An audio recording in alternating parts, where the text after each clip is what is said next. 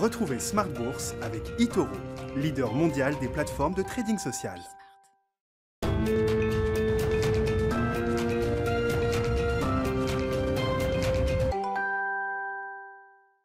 Et c'est reparti pour Smart Bourse, votre double dose quotidienne de marché en direct sur Bismart, chaque jour à la mi-journée, 12h30, 13h, et le soir, la grande édition, le grand digest de l'information économique, financière et boursière pendant une heure à partir de 18h30. Au sommaire ce soir, un mois de juin sur les euh, marchés boursiers, en Europe notamment, qui euh, démarre positivement, de très belle manière, avec euh, de belles hausses pour les indices européens pour cette première séance du mois. Vous aurez le résumé complet dans un instant avec Nicolas Pagnès depuis la salle de marché de, de Bourse Direct mais on voit que l'appétit pour le risque perdure, l'enthousiasme est au rendez-vous et profite à plein à l'Europe avec notamment les secteurs les plus euh, cycliques. Le secteur des matières premières, des ressources de base était sur le devant de la scène euh, aujourd'hui. Le secteur bancaire également, qui est un, baromètre value de l'appétit pour le risque des investisseurs en ce moment, s'en sort très très bien. Un secteur en Europe qui prend 35% quand même depuis le 1er janvier. Il faut euh, l'avoir en tête, le secteur financier, le secteur bancaire en Europe. Et puis de belles hausses, je le disais, pour les indices européens.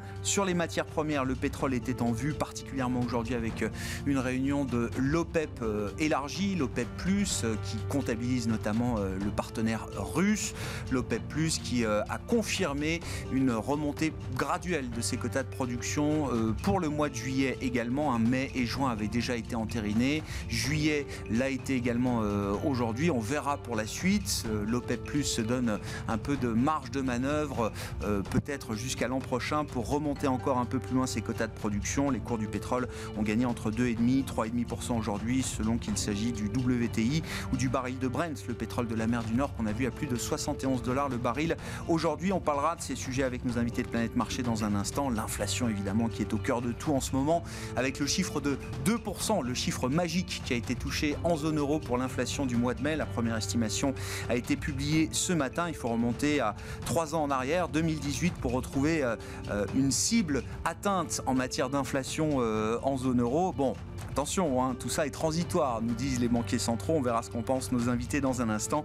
Et puis le dernier quart d'heure de Smart Bourse, le quart d'heure thématique qui sera consacré au thème de la santé ce soir. Un thème qui est, peut-être en train de revenir dans les radars. Hein. Ça fait partie des secteurs qui sont un peu en retard. On peut noter le secteur de l'agroalimentaire, le secteur des utilities et le secteur du healthcare qui font, parmi des, qui font partie des retardataires euh, en Europe notamment. Et c'est Alice Labousse qui sera avec nous pour parler de ce secteur qu'elle connaît très bien, la présidente de Trecento Asset Management sera avec nous en plateau à partir de 19h15.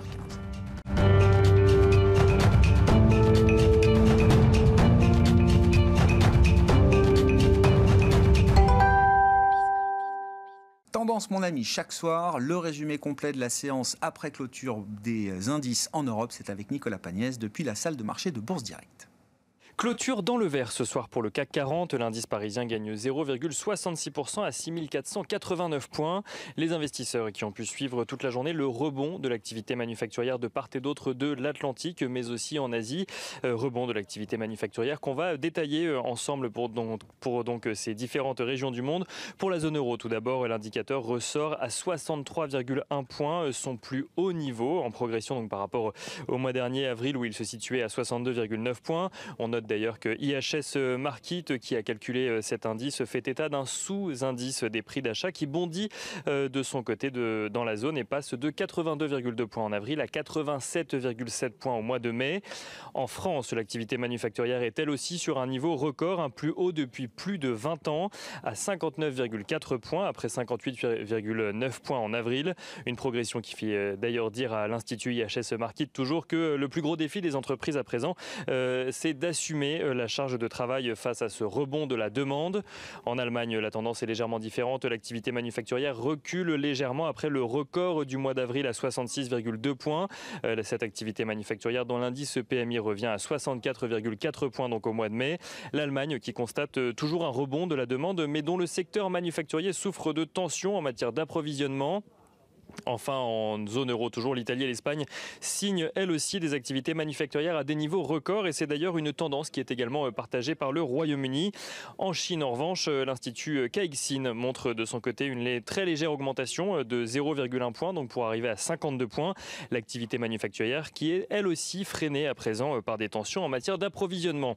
Et direction les États-Unis à présent où l'indice ISM fait état de son côté d'une progression donc de l'activité dans le secteur également. Qui passe de 60,7 points en avril à 61,2 points au mois de mai, traduisant euh, donc une reprise qui continue euh, de la demande dans le pays. Les entreprises qui doivent d'ailleurs faire face aux États-Unis à présent à une pénurie de main-d'œuvre alors que euh, l'indice de l'emploi dans le secteur passe de 55,1 points au mois d'avril à un peu moins de 51 points, à 51 points pardon, au mois de mai. Les investisseurs qui, au-delà des indices euh, donc d'activité euh, manufacturière, ont également pu découvrir ce matin le niveau euh, d'inflation en zone euro qui progresse de 2% au mois de mai, soit légèrement plus que les attentes du consensus, mais une inflation qui dépasse aussi l'objectif de la BCE qui, on le rappelle, vise une inflation inférieure mais proche de 2%. La BCE qui, on le rappelle également, estime, tout comme la Fed, que les tensions inflationnistes sont temporaires. En l'occurrence, la progression des prix en zone euro s'explique essentiellement par ceux de l'énergie dans la zone. Et au sein de l'Union européenne, on note que la Commission européenne annonce qu'elle va emprunter 80 milliards d'euros cette année via des obligations de long terme afin de financer une partie du plan de relance européen. Du côté des valeurs, à présent qu'il fallait suivre aujourd'hui à la bourse de euh, Paris, euh, Suez euh, a annoncé même ce matin avoir cédé des actifs pour 1,1 milliard d'euros à l'allemand Prézéro. Une session dont les premières discussions avaient commencé en septembre dernier et qui concerne des activités de recyclage et de valorisation des déchets aux Pays-Bas, au Luxembourg, en Allemagne ou encore en Pologne. Le montant de la transaction qui correspond d'ailleurs globalement au chiffre d'affaires 2019 cumulé des entités en question.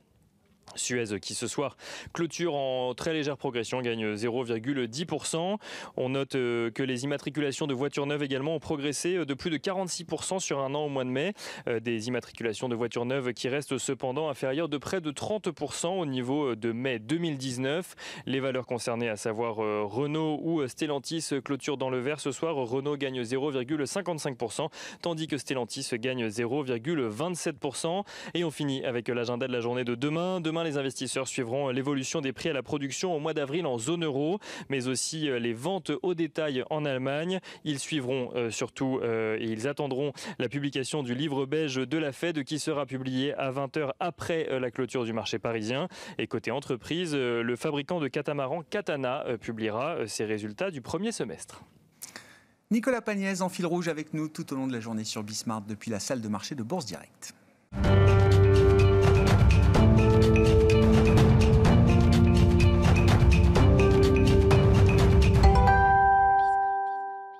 Trois invités avec nous chaque soir pour décrypter les mouvements de la planète marché. Eric Venet est avec nous ce soir, le directeur général de Montbleu Finance. Bonsoir Eric. Bonsoir. Merci d'être là. Merci à Louis de Fels de nous accompagner également. Bonsoir Louis. Bonsoir Vous directeur général de Gay-Lussac Gestion. Et Marc Ries qui est avec nous également ce soir. Bonsoir Marc et bienvenue.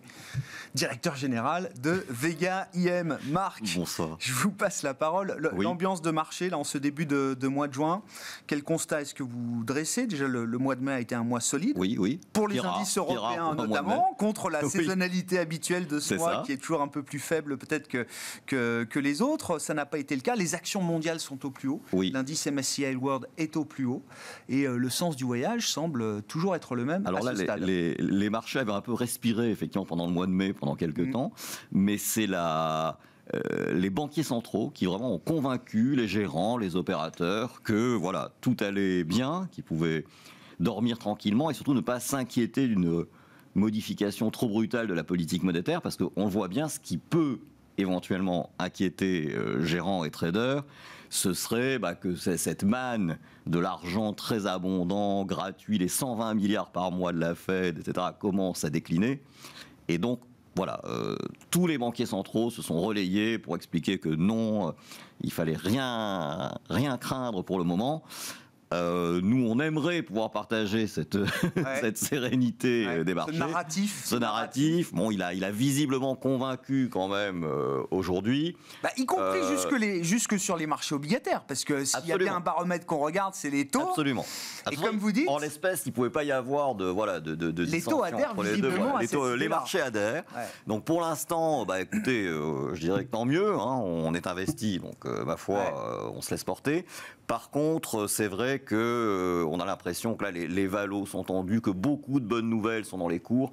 Et ce qui nous inquiète un peu, c'est que tout le monde est optimiste. Alors tous les, les, les- les commentateurs qui, euh, en octobre dernier, à 4500, voyaient la fin du monde et n'en voulaient plus, sont maintenant euh, tous à l'achat, tous euh, contents, etc.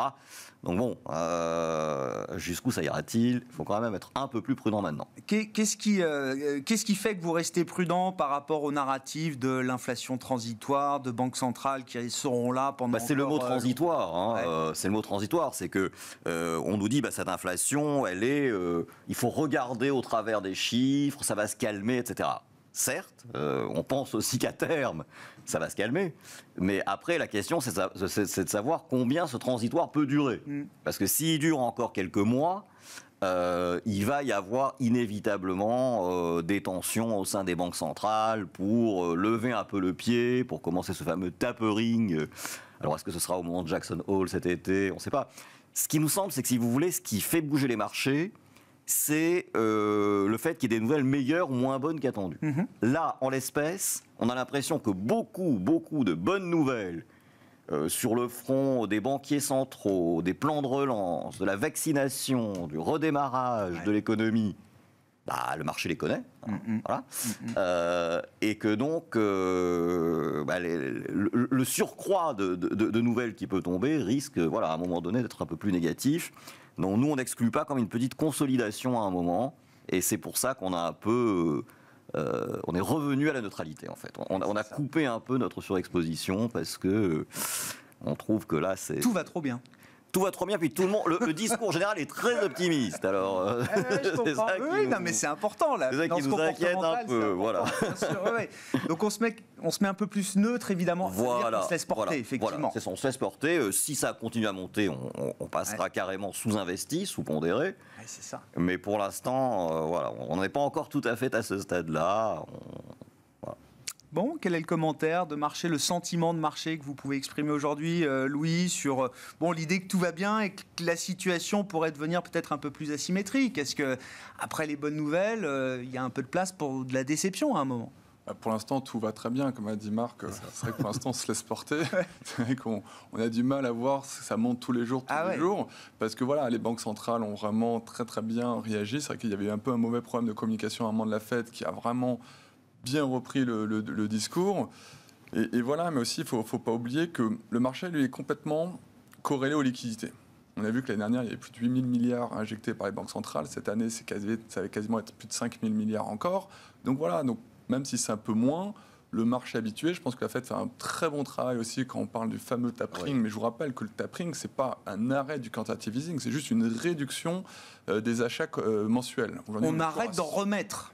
Non, on en On remet- commence à en oui, remettre non, mais moins. on en remet moins. Parce que là, on a 120 milliards par mois aux États-Unis. On va peut-être en mettre un peu moins. Donc, c'est vrai que pour l'instant, le fameux adage Sell in May et Go Away ne marche pas.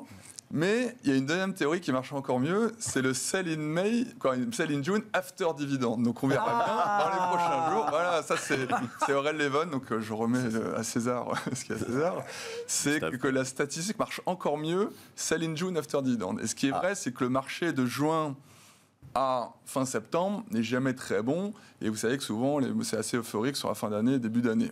Donc c'est vrai qu'on est interrogé par pas mal de clients qui nous disent bon, qu'est-ce qu'on fait? Est-ce que pendant 3-4 mois, euh, voilà, on va à la plage, on profite du beau temps, euh, plus de masques, c'est sympa Bah, la question, c'est que tout le monde attend ce fameux repli. Ouais. Et c'est pour ça que le marché continue de Bah monter, oui. parce Oui. que tout le monde aimerait bien Il a consolidé à plat, en fait. Il- Ouais, il consolide à plat. La, la prudence n'a pas été une bonne stratégie euh, jusqu'à présent. Non. Euh, pour ceux qui ont été trop prudents, en tout cas, ils s'en mordent peut-être un peu les Voilà. doigts aujourd'hui. Alors après, il y a l'allocation dans ce que vous mettez dans le type d'action. Oui. Ce qui est vrai, c'est qu'on a encore vu les chiffres ISM aujourd'hui qui étaient encore euh, très au-dessus des attentes. On voit très très forte croissance des ISM manufacturiers. Et c'est vrai que nous, ça fait six mois on, qui ont été explosifs. Et là, on pense qu'on va arriver quand même un peu à la fin l'accélération de la croissance, on va dire, manufacturière. Pourquoi pourquoi? Parce qu'on voit aussi que la Chine, qui est sortie le premier du Covid, on voit que les crédits sont en train de baisser et on voit que la Chine commence un peu à ralentir. Donc ça devrait peut-être arriver aux États-Unis, en Europe. Donc toute la partie un peu cyclique, value, qui est devenue ultra consensuelle aujourd'hui, nous, on a commencé à faire attention. C'est vrai que depuis six mois, il y a une énorme surperformance des valeurs cycliques, matières premières, on parlera du pétrole tout à l'heure. Mhm. C'est vrai que nous, on est complètement sorti de toute cette thématique. Donc on reste investi en actions, mais plutôt vers les valeurs défensives, plutôt les valeurs qui n'ont pas foutu grand-chose euh, depuis six mois. Donc c'est pas ce qui est le plus sexy, hein, les valeurs comme Unilever, euh, Ouais. Pernod Ricard. Mais c'est les. c'est- Voilà. le- le- je citais tout à l'heure, parce qu'on parlera de la santé tout à l'heure avec euh, Alice, mais il y a trois secteurs qui sont quand même euh, très en retard en Europe, qui sont positifs, mais c'est effectivement food and, be- and beverage, utilities et healthcare. Ouais, et- et Les secteurs boring, quoi. Oui, surtout que le food and beverage, les gens se trompent, c'est qu'ils ont un certain pricing power. Et si on a un rebond inflationniste, ces, ces- ces grands groupes ont un certain pricing power. On a vu une Surtout sur les boissons. Voilà, dans les boissons qui ont clairement, euh, Pernod Ricard, qui ont augmenté les prix sur le premier trimestre. Donc ça, c'est plutôt un bon signe. Donc nous, on est un peu plus comme vous et on fait confiance aux banquiers centraux pour nous dire que l'inflation est plutôt temporaire. Vous savez qu'on peut vous regarder les fameux inflation dans 5 ans, dans le 5 ans dans 5 ans, quand on regarde aux États-Unis, on est entre 2,5 et 2,6, et même quand on regarde le 10 ans, on est même inférieur de 20, 20 points de base. Donc c'est-à-dire que dès 2022, quand tous les plans de relance vont commencer à se normaliser, et on l'a bien vu sur les taux d'intérêt aux États-Unis qui sont autour d'un 60 qui se normalisent. Donc là, on pense que tout ça devrait se normaliser. Mhm. On voit aussi que dans l'inflation, il y a beaucoup d'effets de base liés à la reprise des, cycles- des, des- des, euh, des services, enfin. C'est vrai qu'on était complètement en déflation, là ça repart. Vous avez vu, je ne sais pas si vous avez voulu réserver vos vacances cet été euh, Paraît que pour c'est compliqué. partir oui. encore. Ça coûte cher, en tout sud. cas. C'est hors de prix avec les billets Ouais, d'avion qui ont ouais. fait x4, euh, les, les prix des voitures, c'est vraiment, euh, de temps en temps, euh, je me demande comment les Français vont faire cet été. Bon, c'est un autre sujet. Plus le prix des inflations, c'est vrai que le coût des les- l'épargne. tout, tout le monde, les économistes parlent des fameux euh, cagnottes qu'on a à l'épargne. Je pense qu'après cet été, ça, si je consomme, Non, ça va, ça va fondre assez vite parce que parce que c'est vrai qu'il y, a- il y a quand même un peu d'inflation sur ces choses-là. Mais quand on repart sur long terme, nous on pense pas trop qu'il y a que l'inflation, euh, c'est que du passager et, et on n'est pas inquiet. Et vous verrez qu'on n'est pas à l'abri que même en fin d'année prochaine, en fin d'année, quand on va normaliser la croissance, même que les taux d'intérêt euh, même rebaissent, notamment. Eh oui, oui, oui. Et donc, si on a, le marché est toujours un- dans sa fonction d'anticipation, mais si on a devant nous une phase de cycle plus normale, une normalisation du cycle, il est peut-être intéressant de regarder les valeurs plus normales, comme vous dites. C'est ça, euh, si j'ai Ouais, compris l'idée. complètement. hein. Des, des valeurs voilà, qui, sont, qui, depuis six mois, ont été un peu impactées par la fameuse rotation sectorielle Ouais. vers la value. Après, voilà, il ne faut pas confondre value et cyclique. hein. Je vous rappelle, les values, nous, ce qu'on appelle, c'est les valeurs à faible PE qui ne sont pas forcément croissantes. Donc, on peut appeler un peu les, les value traps. C'est un peu les, les sociétés des anciens modes, des anciens, du ancien monde, les banques, les télécoms. C'est vrai que vous n'avez pas de croissance, les, les supermarchés, les carrefours, tout ça. Donc, c'est vrai que ça. Je peux comprendre que certains doivent acheter ces valeurs-là pour. Pour euh, se prémunir d'une éventuelle hausse des taux. Mais nous, on continue de préférer certaines valeurs de qualité de croissance défensive, pas non plus à n'importe quel prix, Mhm. parce que c'est vrai que pendant encore 2-3 mois, on va encore avoir certaines poussées inflationnistes. Donc on a bien vu que le Nasdaq a plutôt sous-performé depuis, depuis quelques mois. Donc c'est vrai que les valeurs à très fort PE, voilà, il faut faire un peu attention. Ah ouais. Et revenons plutôt vers du qualité défensive plutôt que la très forte croissance. Bon, et on le voit d'ailleurs sur la séance du jour, dès qu'on gagne euh, quelques points sur les taux, euh, tout de suite le Nasdaq euh, faiblit, et le Nasdaq a été même négatif au cours du mois de mai. hein. C'est un des rares Oui, indices euh, C'est à moins qui a un et rien demi fait. à peu Voilà, c'est ça, près. qui a sur le rien fait en mai ouais. et qui a Ouais. même accru encore un petit peu son, son retard. Vos commentaires de marché, vos remarques, Eric, là, sur la situation, l'état des lieux actuel, l'ambiance, est-ce qu'on est proche de l'euphorie? Est-ce qu'il Je faut... crois euh, pas en fait. Moi, j'ai pas du tout le même narratif. Je, je pense qu'on est sur un- l'image du paquebot. Il est, parti pour monter, alimenté par, on l'a déjà dit, les liquidités, surtout euh, une vision. C'est-à-dire qu'on sait qu'on a une croissance euh, forte. euh, par une demande qui est là, que le problème sera un peu l'offre et une surchauffe un peu au niveau des prix, et avec un espèce de comme une centrale nucléaire, voilà, avec les taux d'intérêt longs qui vont plus ou moins refroidir ou, ou réaccélérer.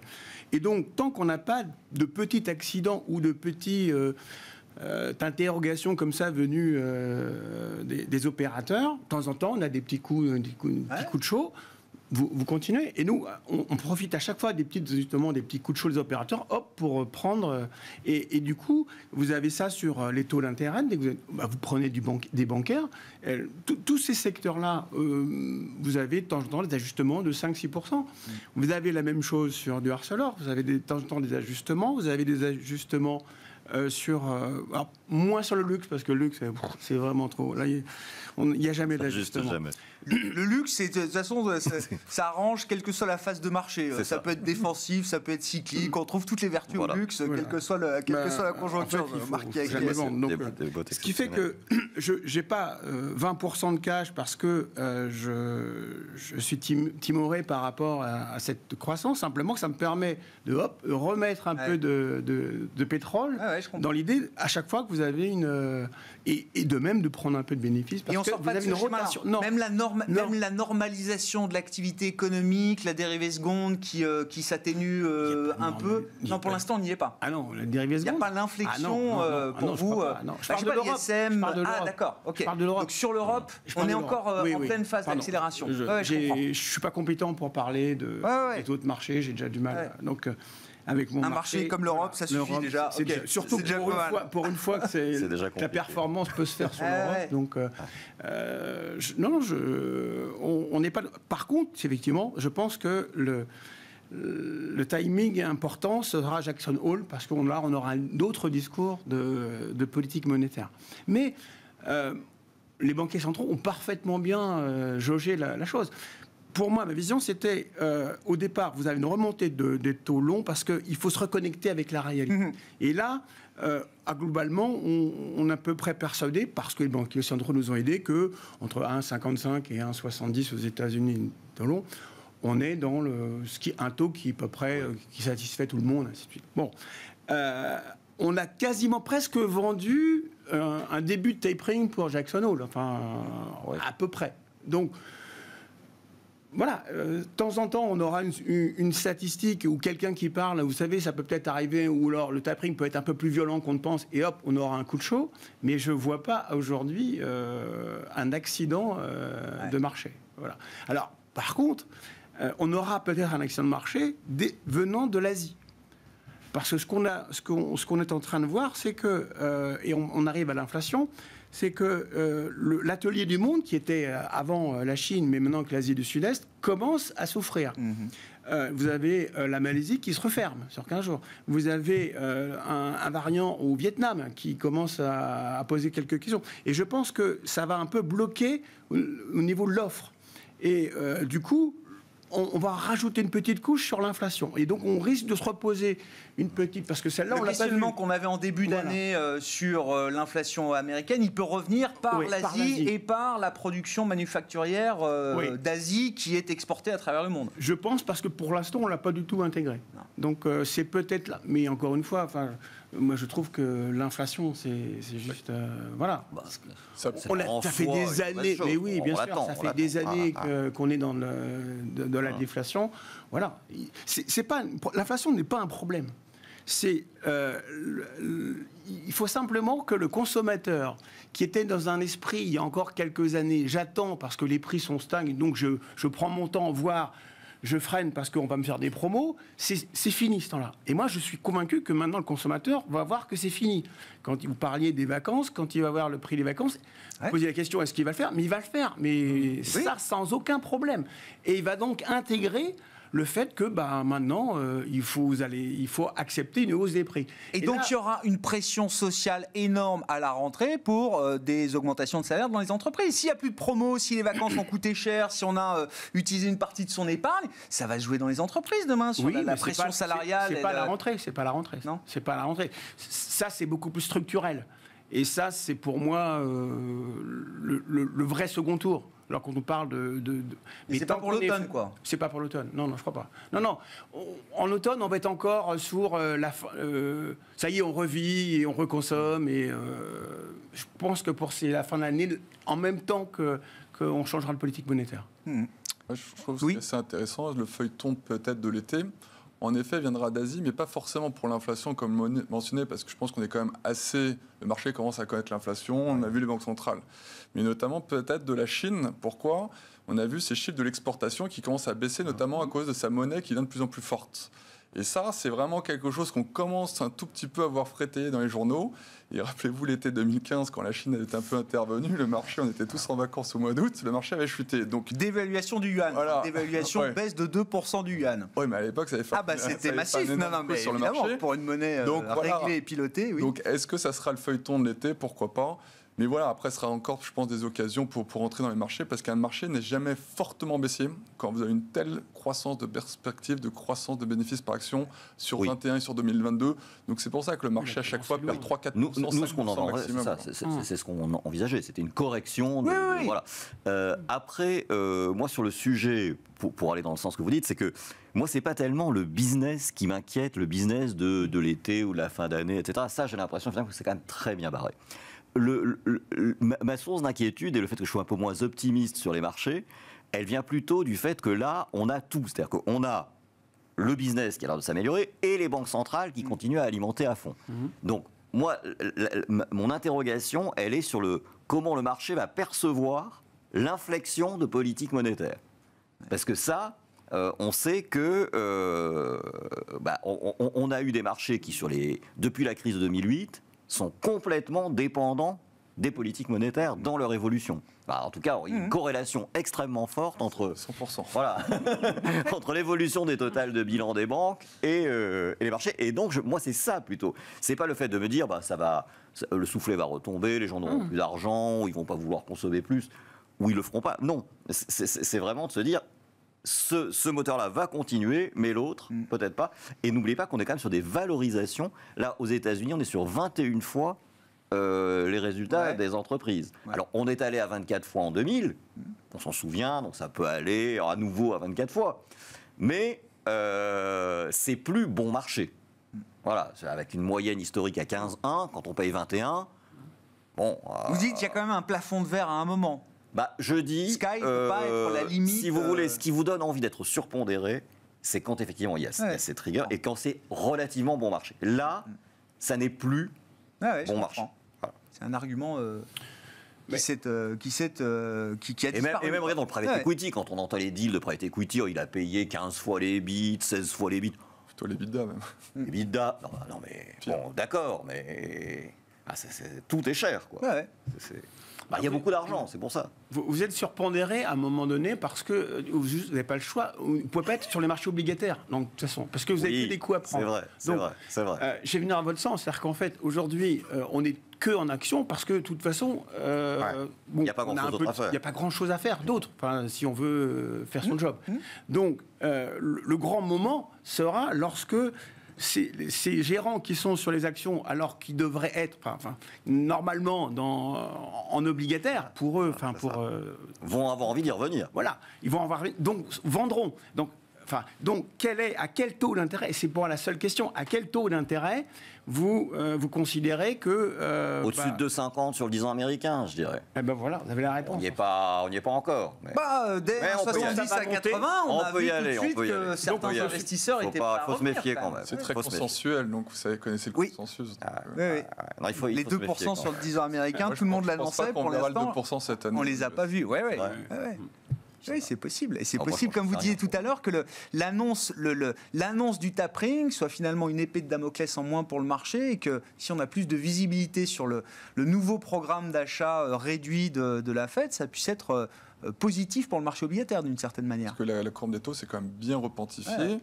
Et je la vois mal continuer fortement. C'est pour ça que, bien évidemment, tout ce qui est cyclique bancaire, je suivais un peu votre point de vue fallait jouer depuis six mois, mais ça y est, peut-être ça peut continuer quelques semaines. Mais on va dire que le, très très gros du, de la surperformance a été hmm. fait. Hmm. Enfin, ça peut durer quelques semaines, mais si, vous avez encore 10-15% à prendre, euh, ça vaut la peine. Moi, je, Après que la thématique, la thématique, la thématique bancaire, c'est la, hausse des taux. Enfin, voilà, Ah, c'est c'est pas euh, ce Ah oui, ce que cher, pas cher, enfin, j'en sais rien. Non. Simplement, le marché, C'est il est comme cher, ça. non. Aujourd'hui, euh, à chaque fois que vous avez un petit coup, euh, qu'on Voilà, re- on, voilà. on repart. C'est totalement lié, euh, Ah oui, oui, c'est du comportemental. Donc, vous allez sur les. Moi, je pense donc que le- les bancaires, c'est pas fini. Je veux dire, à chaque fois que ça redescend un peu, je- j'en remets. J'ai pas eu la chance d'être là au départ, hein, donc euh, je, je Nous non remets un plus. peu. Euh, mais je suis pas convaincu qu'on puisse raisonner. Alors, encore une fois, je j'en sais pas plus que, que Ah bah c'est l'avenir qui nous le dira. Mais hein. aujourd'hui, je, je prends les règles du marché et je je, je suis pas contrariant. Alors, Et ce alors schéma-là, j'ai toujours voilà, été contrariant. Pour vous, il n'y a pas le signal que Non. ce schéma-là euh, Non, change. je euh, continue parce que c'est dans la même logique. Oui. Euh, Louis, comment vous expliquez Alors, je, je dis sous-performance des small et mid cap. Non, je, je grossis euh, trop le trait, mais euh, on, peut imaginer que justement l'appétit pour les petites et moyennes capitalisations dans une phase de reprise cyclique aussi forte, aussi euh, incroyable que ce qu'on vit en ce moment en Europe, euh, trouve justement un intérêt euh, particulier, important de la part des, des investisseurs. Alors, je suis sûr qu'on peut trouver des indices small cap qui font peut-être un peu mieux que le CAC 40 ou autre, mais au global, quand je regarde l'indice CAC euh, Mid and Small, il fait pas mieux que le CAC 40 euh, Large Cap. Peut-être même un petit peu moins bien euh, year si on prend le CAC mid, il est Voilà. vraiment nettement en dessous. sur les valeurs plus. moyennes. Comment vous expliquez, je ne sais pas si vous parlez de désintérêt, mais qui n'est pas l'intérêt qu'on aurait pu attendre pour ce compartiment de marché dans cette phase de, de reprise cyclique Pour, euh, pour une fois, je trouve ça plutôt assez sain, parce que c'est vrai que normalement, les gens viennent très souvent vers les small caps parce qu'elles ont un bêta supérieur et pour jouer ce côté plus cyclique. Et c'est vrai que cette fois-ci, ça n'est pas vraiment le cas. Pourtant, quand vous êtes sur les large caps, vous avez cette fameuse rotation sectorielle où vous pouvez très vite, il y a des journées où ça fait très très mal dans les portefeuilles. Si vous n'avez pas de bancaire, pas de cyclique comme Mm. aujourd'hui, vous avez que du défensif, ça fait mal. Euh, hier, c'était l'inverse, etc. Donc souvent, les small caps, comme il y a beaucoup moins cette rotation sectorielle, elles sont censées surperformer dans la reprise. Et surtout, c'est plus des histoires de stock picking. Rappelez, on parle toujours du stock picking, alors que pour l'instant, il n'y a toujours pas de stock picking à faire sur les large caps, alors que ça devrait revenir. Mais pourquoi ça ne revient pas? Parce qu'en plus, elles sont pas si chères que ça. Normalement, elles se payent toujours avec une prime par rapport au large cap. Ouais. Si on regarde le MSCI euh, euro, euro small cap, est même avec une très légère décote par rapport au large cap, alors que normalement, ils sont censés être avec 15-20% de prime. Ça, c'est intéressant, ça. Voilà, donc il y a La prime structurelle, elle, a- elle, Elle elle est, est pas revenue. absolument plus là. Donc nous, on reste très confiants sur cette classe d'actifs qui permet aussi de jouer cette thématique reflationniste sans voilà dire value sans qualité parce que c'est vraiment des, des histoires de, de- de qualité qui passent un peu à travers. Et surtout, je pense qu'aussi que les gens ont été un peu euh, toujours, euh, rappelez-vous, 2018 était encore il y a peu de temps. Il y avait eu peut- peut-être beaucoup, beaucoup trop de souscriptions, de flux rentrants dans la classe d'actifs en 16-17 jusqu'à l'été 2018. Et on va dire la fin d'année 2018 qui avait été très compliquée. qui hein. était très compliqué, 19 et 2020 qui arrivent encore. Et les gens, ils ont un peu peur. Ils se sont dit, tiens, la liquidité, vous connaissez maintenant, tous les gens, c'est le risque, le risque, la liquidité. Mais moi, je pense que le problème de liquidité, si on le fait les choses intelligemment, ça peut être très fortement vecteur de performance. Voilà, faut pas non plus toujours vouloir avoir trop d'actifs. C'est comme ça que, vous vous rappelez, dans le passé, en 2008, euh, certains exemples, ça, ça a été compliqué. Mm. Mais euh, quand on fait les choses bien, et c'est ça ce qui est plutôt assez sain, c'est que là, les, les flux sont revenus que tout doucement. Donc c'est pour ça que je pense qu'en ce moment, la classe d'actifs, elle a encore de beaux jours à venir devant elle, parce qu'elle sont toujours avec une décote, les flux ne sont pas encore revenus. Il y a beaucoup d'histoires qui sont belles. La seule petite inquiétude qui arrive, c'est le nombre d'IPO qui sont en train d'arriver Ouais. juste avant l'été, avec plus ou moins de qualité. Nous, chez Gilsac Gestion, on ne regarde pas du tout, parce qu'on attend toujours un an de cotation, parce qu'il y a quand même beaucoup de viviers de valeurs très bien cotés, que vous connaissez déjà avec un long track record. Mais, mais voilà, donc c'est intéressant, on va, les, on va les regarder loin. Mais en tout cas, clairement, nous, dans nos allocations, on continue de privilégier les small caps. Oui, c'est ça. Si, si on, on a une séquence de marché en tête pour, euh, pour l'avenir, à un moment, il y aura un intérêt euh, supplémentaire pour ce, ce compartiment de marché small et mid. Et surtout, elles sont beaucoup moins volatiles et risquées peut-être que dans le passé.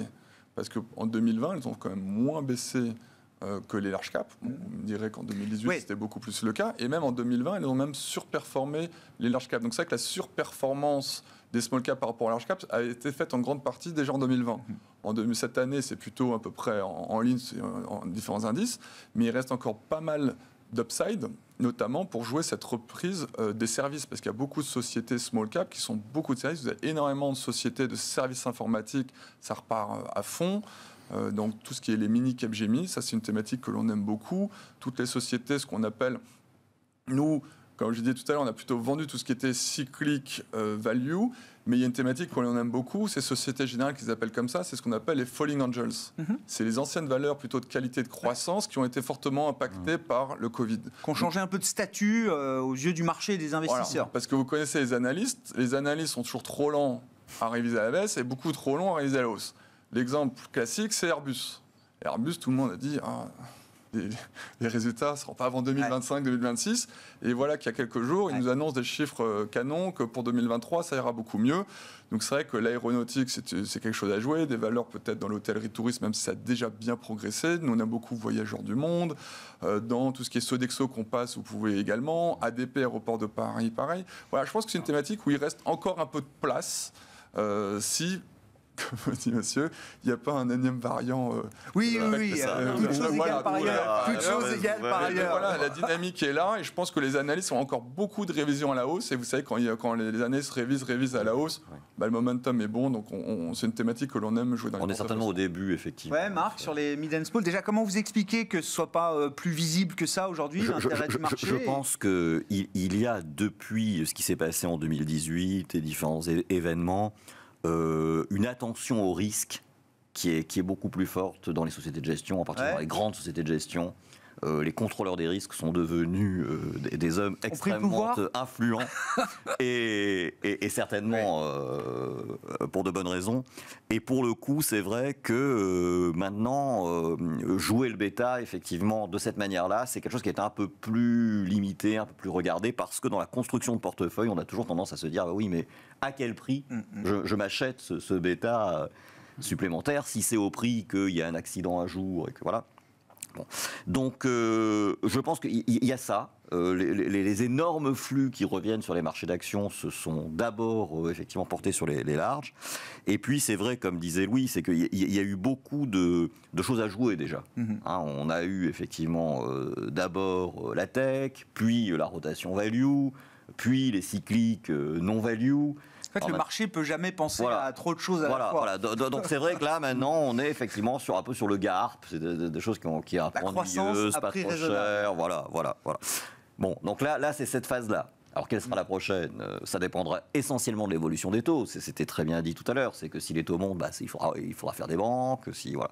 Bon, ça, c'est- compliqué à savoir. Mais effectivement, euh, les small, c'est une classe d'actifs qui est intéressante dans un portefeuille. Il faut en avoir. Après, nous, euh, euh, voilà, sur 13 milliards, on peut pas avoir 13 milliards de small. J'entends bien. Et comme vous avez dit très justement, C'est compliqué. c'est- un peu le copier-coller de 18-19. C'est ça. Euh, 19, qu'est-ce qui est reparti en premier? Les flux sont revenus vers les large les et les small que en fin d'année. C'est ça. Ça. Et bien là, c'est un peu pareil. Ça Là, peut enfin, être, les flux euh, voilà. reviennent sur l'Europe, Mhm. sur les large caps, Oui. qui permettent à l'Europe de surperformer, surperformer enfin les US. Mhm. Et on espère bien avoir un la- très la bon vague, euh, euh, septembre, voilà. euh, décembre euh, sur les small caps. La fin d'année risque d'être bonne. Je pense Eric. qu'il faut, faut, faut attendre qu'il y ait du, du volume sur les, sur les small. En fait, euh, ça vous Le a signal, permis. ce sera ça. Ouais, oui, parce que et, et peut-être la fin justement de, de- de- pas du cycle parce que je ne veux pas raisonner en cycle. Bah, une mais- fois qu'on aura tout fait, oui. voilà, euh, voilà, exactement. Mais je pense qu'il est trop tôt et ça fait peur parce Oui. que vous avez, il Ah oui. n'y a pas de marché. Enfin, autant, autant on a gagné beaucoup, beaucoup d'argent avec les small l'année dernière, qui nous a permis de exploser les indices. Ouais. Autant cette année, euh, à chaque fois que je, je peux vendre, je vends, je m'allège parce qu'il n'y a rien dans le carnet. Le carnet d'ordre. Je parle des, mid, enfin, de- des- des- enfin, plutôt small que, que mid. Je parle pas des ADP, je parle beaucoup de plus petits. Oui, oui. Euh, parce que. Ou alors, j'ai une autre théorie, peut-être que euh, le marché était présent avec beaucoup de des traders, enfin de, de- de particuliers qui étaient présents l'année dernière sur ces, Ouais. sur ces là et qui Oui, sont portés des- sur des les micros small cap. Voilà. Beaucoup Et- de particuliers euh, se sont investis dessus. oui, et qui maintenant sont sur les crypto-actifs en fait. Et, et- et là, il n'y a plus de marché. Enfin, euh, mais même, même euh, enfin, sur, des fois sur du Beneteau, vous avez des variations énormes. Ah, ouais, Donc, euh, ça se justifie pas. Donc, on va aller chercher de- de- du bêta, alors qu'il y a, a- peut-être un bêta, mais vous n'arrivez pas à le contrôler parce que c'est un problème de liquidité. Donc, au- autant je suis un peu plus sûr de gagner de l'argent sur les, sur les grosses, parce que pour moi, c'est c'est Le vraiment paquebot. un truc. Ah, c'est le paquebot. Euh, et je, je- je pourrais sortir davantage par rapport à un hypothétique euh, relais. euh, Enfin, je, sais, je, Ah ouais. je le ferai peut-être, mais pour moi, ça sera une fois que les, les- les liquidités seront venues. Il nous reste quelques minutes. Je sais pas, je voulais peut-être remettre sur la table les, dernières actualités en provenance de Chine. Euh, Louis, vous l'avez évoqué, la force du yuan, effectivement, qui est un sujet. Et puis, euh, bon, la, nouvelle politique euh, familiale. En tout cas, l'idée que la Chine a besoin de stimuler beaucoup plus sa démographie qui est très déclinante. Je sais pas, la- l'annonce hier a été vécue quand même un- comme un événement. Alors, je sais que la démographie, ça se décrète pas et que la Chine a peut-être pas grand-chose à perdre en annonçant que trois enfants, euh, c'est autorisé par, euh, par famille. Mais euh, quand même un signal qui nous dit quelque chose. Ah oui, oui, c'est- c'est c'est un signal économique fort, parce Ouais. que euh, tout, tout pays a besoin d'une euh, d'une courbe démographique euh, enfin, pyramidale. Donc euh, là, elle, elle- elle s'inverse. euh, elle est Il y a inversée. 40 ans de politique Depuis- de restriction euh, familiale, même si elle a été assouplie au début des années 2010. Ah ouais, mais non, mais ce qui- non, mais ce mais qui est grave- ça n'a rien, ça n'a pas fonctionné. Eh ben voilà, mais c'est Oui, ça la vraie question, c'est que ça n'a pas fonctionné. Et quand ça, si ça pour fonctionne pas parce que vous avez- on vous autorise à avoir deux enfants, ça n'a pas fonctionné pour avoir trois enfants.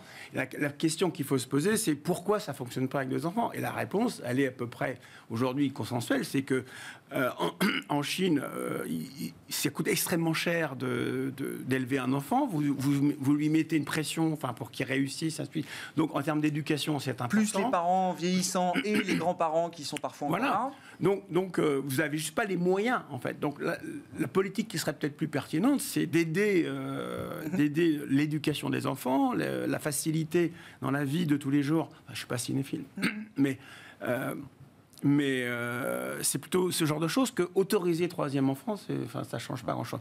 Mais ça veut dire aussi que géopolitiquement, euh, la Chine commence à, à s'apercevoir qu'elle se fragilise.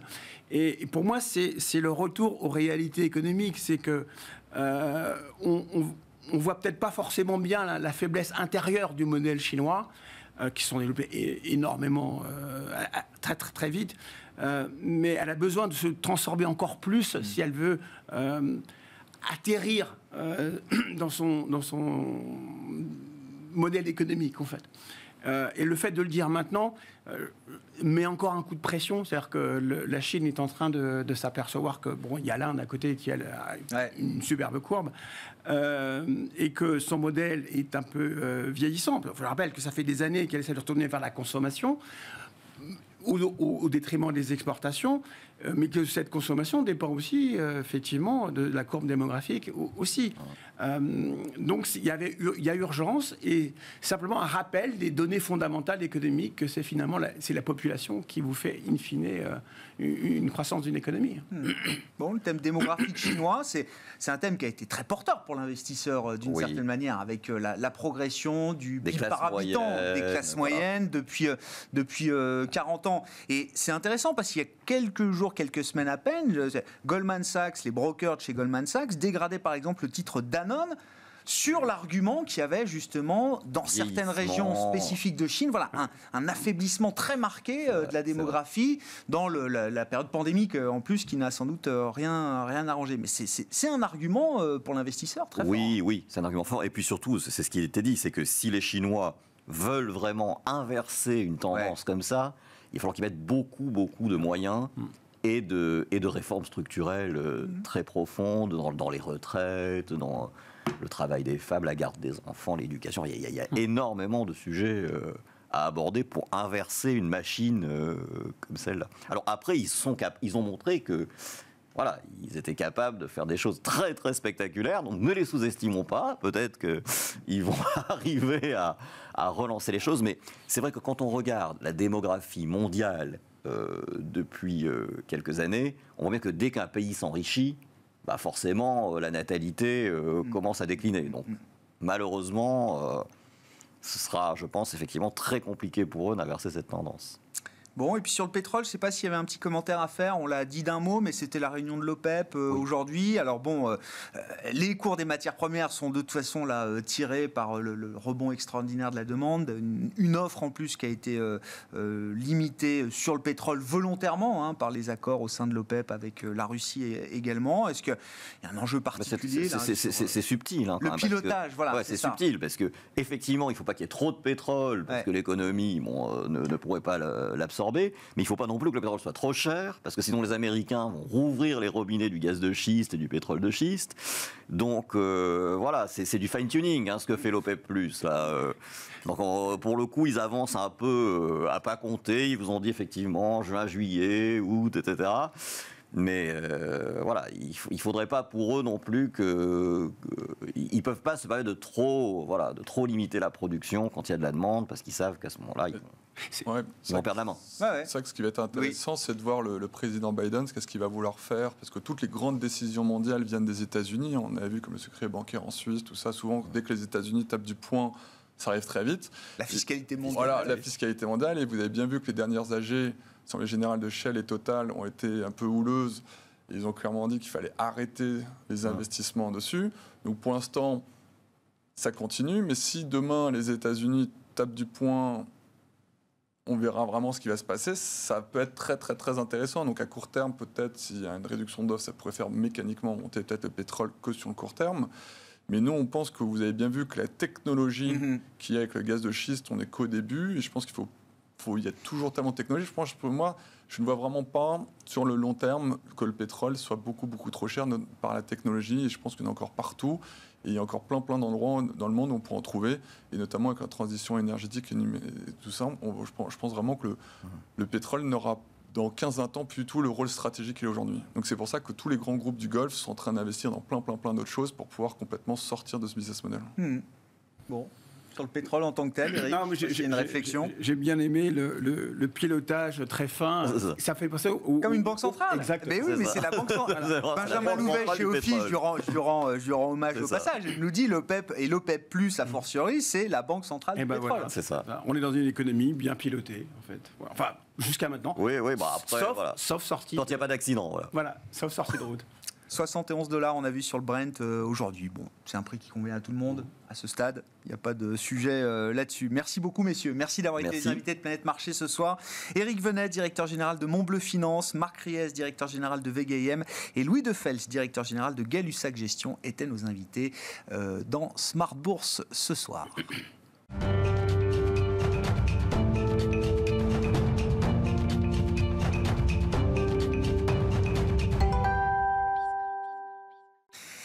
Le dernier quart d'heure de Smart Bourse, chaque soir, c'est le quart d'heure thématique, marché à thème, consacré ce soir au, thème et au secteur de la santé au sens large. On en parle avec une spécialiste à mes côtés en plateau, Alice Labouze, que j'accueille. Bonsoir Alice. Bonsoir. Bienvenue. Merci d'être là, présidente de Trecento Asset Management. On va parler avec vous là d'une entreprise qui vous intéresse particulièrement dans un domaine, une technologie très avancée euh, en matière de santé. Mais avant ça, quand même, je regardais un peu les performances sectorielles en Europe depuis le début de l'année. Mhm. Alors on a les banques euh, plus 35%. Et puis on a quelques secteurs, alors je vais dire... Euh, euh, qui sous-performent, mais qui sont mmh. positifs, hein, parce mmh. que tous les secteurs sont euh, positifs depuis le, début de l'année. Il y a les utilities qui sont très en retard, mmh. qui sont vraiment à zéro. la, santé, mais le healthcare, je ne sais pas ce qu'on met d'ailleurs dans ce secteur du healthcare, parce qu'il y a beaucoup de choses, effectivement. En Europe, c'est principalement des laboratoires pharmaceutiques et des petites biotech pas rentables. Oui, c'est ça et qui pèse pas très lourd euh, en termes de capitalisation boursière, en tout cas au regard de ce qu'on peut trouver euh, sur le marché euh, américain. Et le troisième secteur, alors là, lui qui est, qui est plus, qui est plus gros, c'est le secteur food and beverage. Tous ces secteurs sont en retard et sont sur des performances single digit, à un chiffre seulement. La, santé dans le monde, c'est 7% à peu près de performance depuis le début de l'année. Donc c'est bien, mais c'est en deçà de certains, certains autres secteurs d'activité. Alors il faut dire que comme on est dans un bull market géant avec euh, le sentiment quand même qu'il va y avoir une réouverture euh, importante des économies, c'est sûr que c'est un peu, les derniers seront les premiers. C'est-à-dire que c'est un peu les secteurs d'activité qui ont souffert, qui sont en train de connaître, euh, comment dire, un reflux, un regain d'intérêt de la part des investisseurs. Et c'est tant mieux d'une certaine manière. la santé a quand même pas trop mal performé l'année dernière aussi. Donc, euh, d'une certaine manière, c'est un peu le, le, pendant qui se met en place en début d'année. Après, je pense que c'est une thématique qui est loin d'avoir dit son dernier mot et qui fait évidemment tout son sens dans un portefeuille, mais on, on en parlera. En tout cas, ça reste des valeurs innovantes, de croissance, surtout quand on va chercher des sociétés rentables, le risque est quand même un peu moins important. La demande est en forte croissance. Euh, et, donc euh, par nature, c'est un segment qu'il faut garder en tête. Certains investisseurs s'y intéressent, tout de même, hein, commencent à s'y réintéresser parce qu'on a un retour un petit peu du risque ou de, on va dire, de la volatilité sur les marchés, d'une forme d'inquiétude. Si jamais les banques centrales accompagner un tout petit peu moins l'ensemble, l'ensemble des marchés, c'est sûr que c'est des thématiques un peu de repli qui sont quand même structurellement en croissance et qui pourraient euh, faire une forme, bon, sans jeu de mots, mais un peu d'assurance pour les portefeuilles. Complètement. C'est-à-dire que qu'est-ce qui pourrait ramener de l'intérêt sur ces secteurs? Euh, Bon, déjà la valorisation des marchés mm. euh, au sens large, et puis les, forces intrinsèques du thème de, de la santé. Exactement. En fait, la, la santé, d'abord, il y a un point important. Alors, L'Europe, c'est un peu particulier parce qu'on a toujours eu un secteur de la santé plus cher que l'ensemble du marché. Donc, ah. Donc, c'est pas évident pour les investisseurs. Alors, ils ont Ils ont en tête que c'est cher. Ils ont en tête que c'est cher et, ils mettent des, grandes, enfin, des grands laboratoires pharmaceutiques dans leur portefeuille. Aux États-Unis, on a quand même connu une période électorale qui est jamais bonne pour le marché de la santé, surtout quand c'est les Bleus, les démocrates qui doivent gagner, ce qui a été le cas. Donc, la valorisation du marché américain, en tout cas sur la santé, est à peu près un quart moins importante que le marché américain dans son ensemble. Ce qui veut dire que ceux qui vont commencer à la, pêche aux bonnes affaires, a priori, vont aller traiter cette thématique un peu plus que d'autres. Et donc, je pense que ça vaut vraiment. Euh, enfin, c'est tout à fait euh, en ligne avec ce qu'on disait. Il y a une rotation sectorielle de début d'année qui est évidemment normale, puisqu'on redémarre a priori, on espère en tout cas pour une activité plus normale, activité économique, mais il faut se souvenir qu'un portefeuille doit être quand même contrebalancé, en tout cas entre des valeurs très cycliques et puis celles qui sont plus défensives et qui, dans les moments difficiles, tiennent mieux, mais qui ont tout de même ce catalyseur avec, et on va en parler, une innovation colossale et pas seulement une innovation en matière de médicaments ou de biomédicaments euh, comme dans les biotechnologies, mais aussi en termes de matériel médical, en mhm. termes d'avancée, la robotique, l'intelligence artificielle, le big data, on va en parler, sont en train de révolutionner le monde de la santé, faire gagner de la productivité, des parts de marché et donc euh, ça, voilà, c'est un des grands catalyseurs que je souhaite mettre en avant, euh, qui me semble important. Mais je partage avec vous la réflexion d'un investisseur value qui est venu il y a quelques semaines à peine sur le, plateau, Marc Renault, le patron de Mandarin Gestion, et on parlait de la gestion value euh, avec lui. Et, il me disait, il y a, des dossiers de santé type Sanofi, euh, AstraZeneca, mm. des grands labos qui n'ont rien fait sur le plan euh, boursier, qui l'intéressent lui aujourd'hui en tant que gérant value. Je pense que ça fait des années qu'il n'a pas regardé ce secteur qui était un secteur de croissance défensif, mm. cher, toujours mm. trop cher pour les investisseurs euh, value. Bah, aujourd'hui, il y a des investisseurs value qui commencent à regarder certains dossiers. Et tant mieux pour nous, hein, les fonds ah ben, santé. Hein, si, on a du flux qui arrive de la part des généralistes, on est plutôt content parce qu'a priori, ça va faire monter les cours de bourse.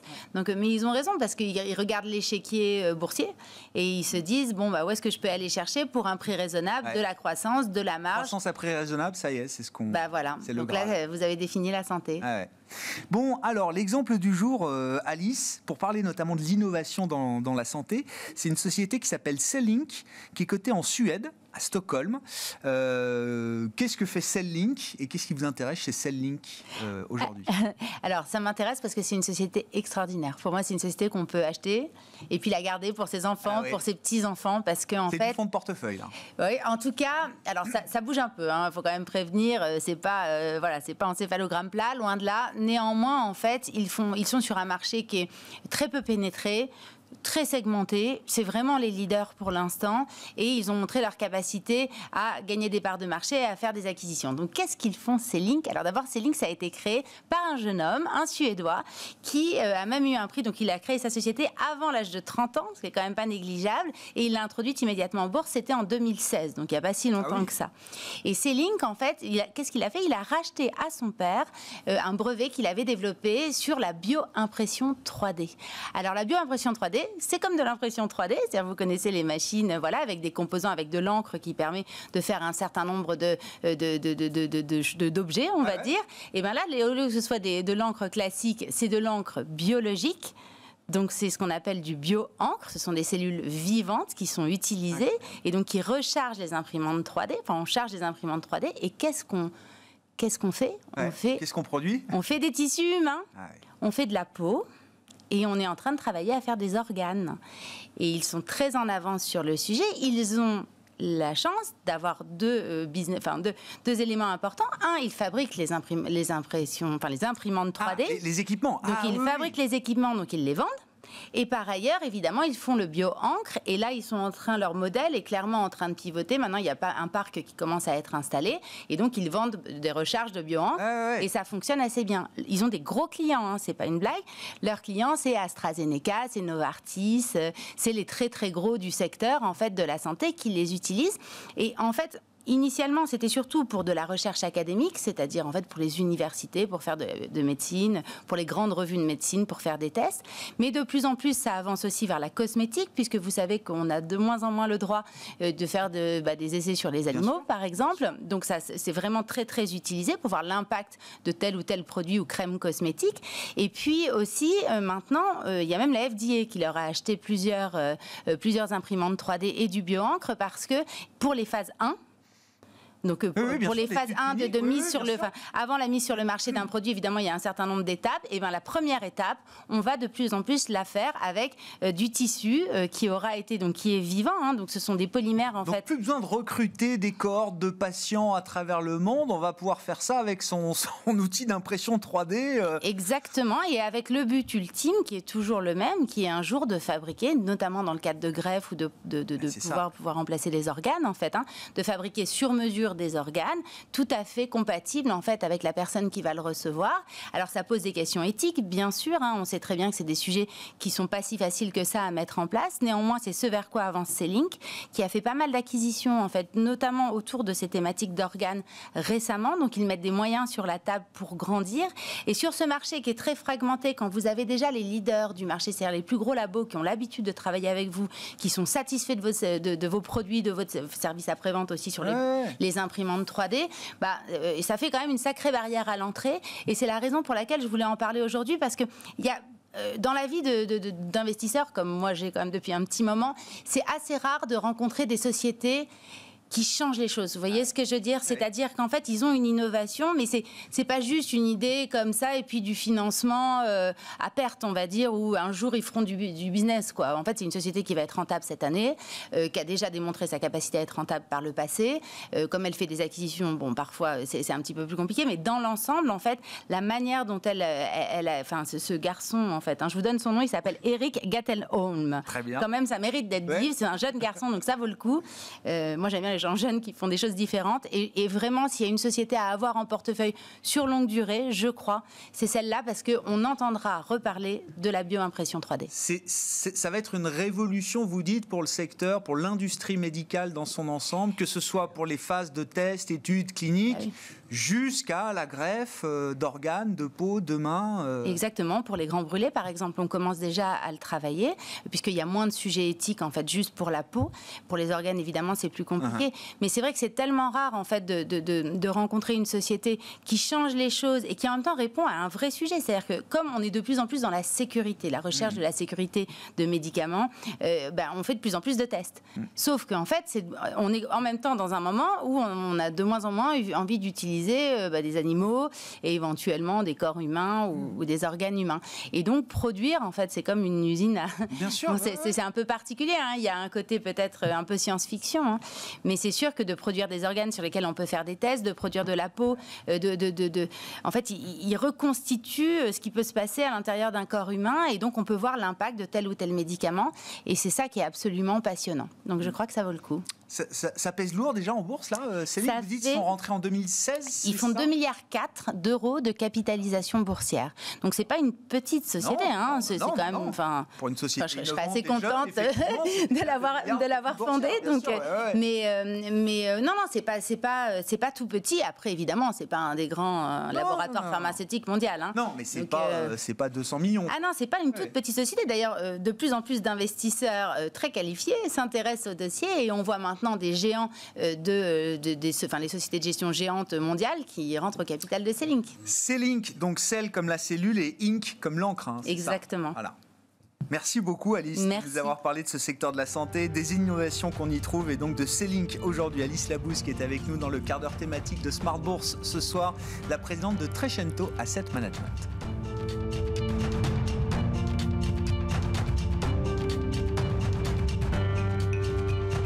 C'était Smart Bourse avec eToro, leader mondial des plateformes de trading social.